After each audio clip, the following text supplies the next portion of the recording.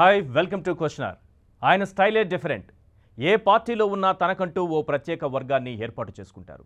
ఎంత కల్మషం లేకుండా నవ్వుతారో ఆయన చుట్టూ అన్ని వివాదాలు కూడా ఉంటాయి. ప్రతి ఎన్నికకు నియోజకవర్గాన్ని మార్చే ఈ ఓటమి లేని నాయకుడు మంచినీళ్ళు తాగినంత ఈజీగా పార్టీలను మారుస్తారనే పేరు కూడా ఉంది. రాజకీయాల నుంచి ఫేడ్ అవుట్ అయిపోయారు అనుకున్న సమయంలో ఒక్కసారిగా విశాఖ స్టీల్ ప్లాంట్ కోసం రాజీనామా చేసి మళ్ళీ లైమ్లైట్లోకి వచ్చి అందరి అటెన్షన్ను తన వైపు తిప్పుకున్నారు. ఆయన ఎవరో కాదు మాజీ మంత్రి గంటా శ్రీనివాసరావు.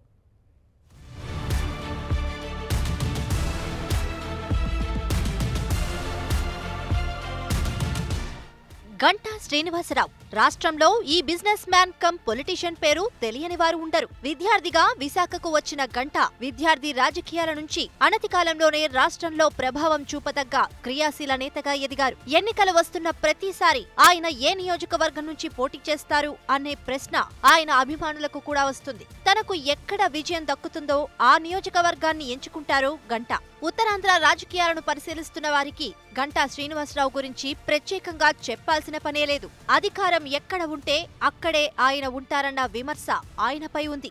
గంటా శ్రీనివాసరావు అంటే నచ్చని వాళ్ళు ఆయనను రాజకీయ అవకాశవాది అంటారు. ఆయనను మెచ్చేవారు మాత్రం రాజకీయంగా అవకాశం వెతుక్కునేవారు అంటారు.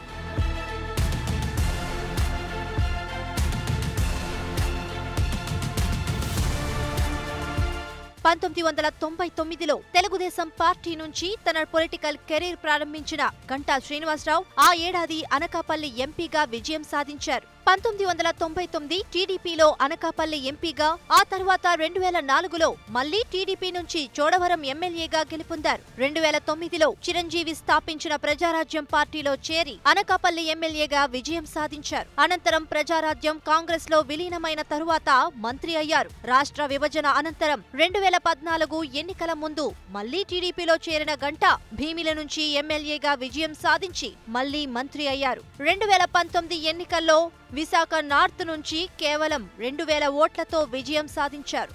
చోడవరం అనకాపల్లి భీమిలి విశాఖ నార్త్ ఇలా పోటీ చేసిన ఏ నియోజకవర్గం నుంచి మరోసారి పోటీ చేయలేదు గంట. రెండు వేల పంతొమ్మిది ఎన్నికల తరువాత తెలుగుదేశం పార్టీతో అంటిముట్టనట్టు వ్యవహరించారు గంట. ఈ మధ్యలో గంట వైసీపీలో చేరుతారని బీజేపీలో చేరుతారని అనేక ఊహాగానాలు వచ్చినా ఆయన మాత్రం వేటిపైనా స్పందించలేదు.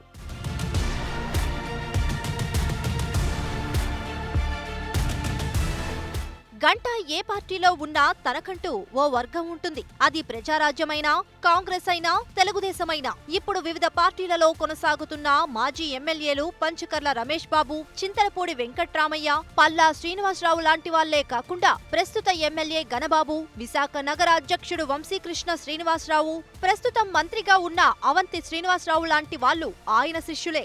అయితే వీరిలో అనేక మంది ఆయనకు టచ్లో లేకుండా పోయారు. అవంతి శ్రీనివాసరావు వైసీపీలో చేరి మంత్రి పదవి పొందగా పంచకర్ల రమేష్ బాబు ఆ ఎన్నికలకు దూరంగా ఉన్నారు. మాజీ ఎమ్మెల్యే చింతలపూడి జనసేనలోనూ ఆ ఎన్నికల తర్వాత వైసీపీలోనూ చేరారు. ప్రస్తుతం అవంతి శ్రీనివాసరావుకు గంటా శ్రీనివాసరావుకు పచ్చగడ్డి వేస్తే బగ్గుమనే పరిస్థితి ఉంది. ఇక టీడీపీలో మాజీ మంత్రి పొలిట్ బ్యూరో సభ్యుడు అయ్యన్న పాత్రుడికి విభేదాలు ఉన్నాయి. గతంలో కాంగ్రెస్ పార్టీ హయాంలో కూడా అప్పటి జిల్లా మంత్రి బాలరాజుకు విభేదాలు వచ్చాయి. అయితే రెండు వేల పంతొమ్మిది ఎన్నికల తరువాత గంటా శ్రీనివాసరావు రాజకీయ సర్కిల్లో ఎక్కువగా కనిపించడం మానేశారు.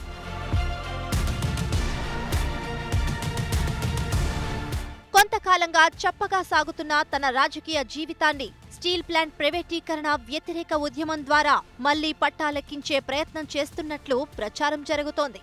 ఉక్కు కర్మాగారం పరిరక్షణ కోసం రాజీనామా చేసిన ఆయన మిగిలిన ప్రజాప్రతినిధులంతా రాజీనామా చేయాలని డిమాండ్ చేశారు. గంట సొంత దస్తురితో రాసి రాజీనామా చేసినా సరే అది స్పీకర్ ఫార్మేట్లో లేదని గంటాది రాజీనామా డ్రామా అని వైసీపీ నేతలు విజయసాయిరెడ్డి అవంతి శ్రీనివాస్ విమర్శించారు. దీంతో గంట స్పీకర్ ఫార్మేట్లో రాజీనామా చేశారు. ఇటీవలే శ్రీకాకుళం జిల్లాలో ఉన్న స్పీకర్ తమ్మినేని సీతారాంను కలిసి తన రాజీనామా ఆమోదించాలంటూ చిత్తశుద్ధిని నిరూపించుకునే ప్రయత్నమూ చేశారు.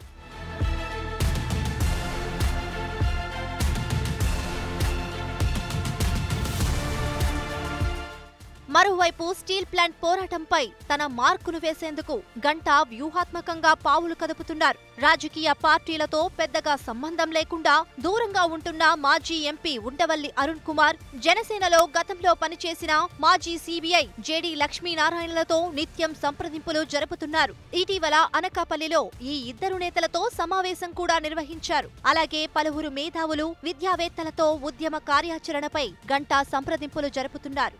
ప్రస్తుతం స్టీల్ ప్లాంట్ పరిరక్షణ పోరాటం చుట్టూ ఏపీ రాజకీయం తిరుగుతోంది.